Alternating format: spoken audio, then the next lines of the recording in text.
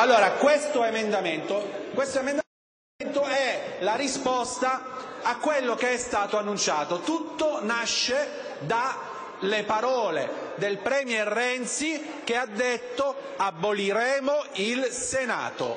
Le prime parole che ha pronunciato sono state queste: superiamo il bicameralismo, aboliremo il Senato. Abolizione del Senato, adesso votatela, dimostriamo chi vuol mantenere le poltrone. Noi voteremo per l'abolizione del Senato. Dichiaro aperta la votazione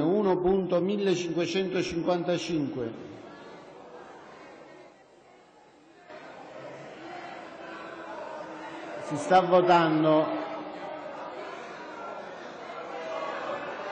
Prego. Dichiaro chiusa la votazione.